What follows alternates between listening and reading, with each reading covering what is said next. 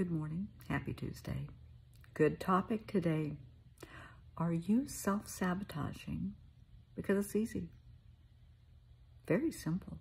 I have worked with a lot of patients for a lot of years, and I am seeing a pattern emerge again, and it kind of comes in cycles.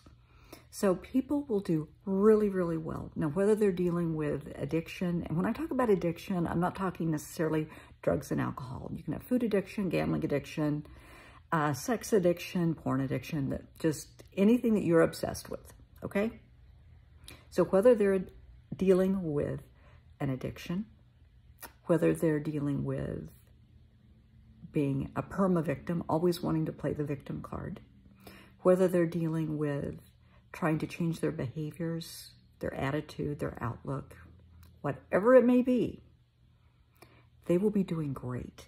Really proud of them. They're doing so well, and life will throw you a curveball, and you come to a crossroad. All you have to do is push through. Stay the course. You're doing great.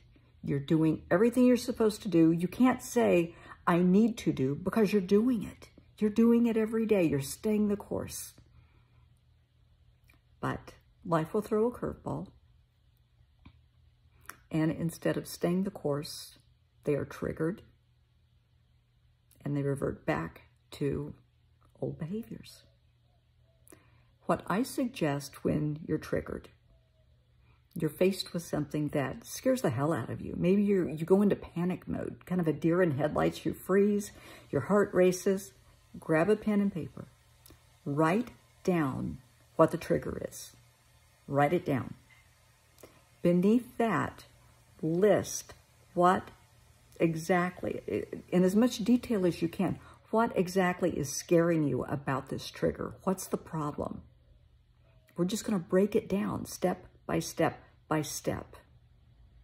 Okay? So you have the trigger, you have what's scaring you about the trigger. Break it down further. What, what are the nuts and bolts of this? Once you break it down, you know exactly what you're dealing with. Most people are afraid of the unknown, the uncertainty. If you break it down, the unknown becomes known. There's nothing to be afraid of anymore because you know what you're dealing with. You know what you're up against. You know what you have to do. Okay. So that's how I like to help people deal with triggers. Identify what it is, break it down so we know exactly what we're dealing with and why you're afraid of this. Is it a trauma from the past? Let's deal with that. What scared you about the trauma? Let's, let's get into it. There's no need to go back to bad behaviors. There's no need to self-sabotage other than that's your comfort zone. It's easy. It's comfortable. It's a known. It's a given. You know how that felt for all those years. You know exactly what to expect. You know exactly how to feel, the good, the bad, the discomfort. You know it. It's like putting on an old pair of shoes that are just falling apart, but they're comfortable. You really can't even walk across the room without them falling apart, but they're comfortable. That's the way this is. It's not healthy anymore. It's falling apart, but you're hanging in there. You're going back to it because it's comfortable. Let's not. Okay? Let's stay the course.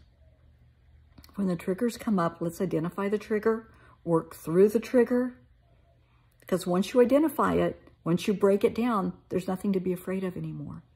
We've worked through it. It's no longer an issue. You faced your fear, and that's a lot to be proud of. So stay the course and don't self-sabotage, even though it's easy. And I know the future may look scary because there's a lot of unknowns if you're giving up an addiction, if you've determined to no longer be a victim. Because when people play the victim card, that's their get out of jail free card. That's their excuse for everything. That's their excuse for bad behaviors and bad attitudes. Well, but I'm a victim. I'm just learning. I don't understand. I've never gone through this before. How old are you? You've probably had these feelings. You've encountered this before. You just didn't didn't deal with it appropriately because you played the victim card. We're not going to do that anymore. We're going to face everything head on.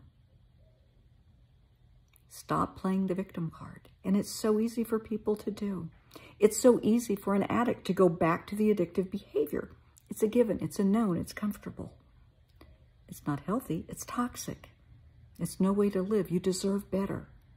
You really deserve better. If you're trying to change behaviors, and it might not be anything big. It might be you're trying to have a better outlook. Maybe you, you know, have a tendency to be very pessimistic. You know, you see the glass half empty. Somebody can say, oh, it's a beautiful day. Well, it might rain. Well, maybe so. That is one term I cannot stand is maybe so. Because it's a pessimistic term. Maybe, but yeah, probably not. And depending on the, the conversation, if, if somebody says, you look really nice, and they say, ah, maybe so, are you calling somebody a liar?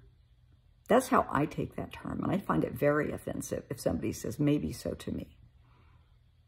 So let's change our attitudes. Let's be optimistic.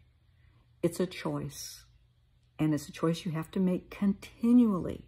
If that's a behavior you're trying to change, it's hard. If you were raised in a negative environment where there, everything was doom and gloom, well, that's your coping skill. We have to change that. And it can be a very long, arduous process, but it's worth it because everything is not doom and gloom. But it's a matter of choices. No matter what you're dealing with, it's a matter of choices. If you decide to self-sabotage, it is a matter of choices. Do you want to go back to square one? Maybe for a lot of people, I've worked with them for a year or longer, and they are doing so well. They're almost at the finish line, and something will happen are they going to stay the course? Are they going to self-sabotage? The choice is yours. I have faith in you. You can do this. I'm right here to help you do it. And you know that. Don't self-sabotage. Don't go back to bad behaviors, bad addictions, bad thought process, just because it's easy. Just because it's easy doesn't mean it's the right thing to do.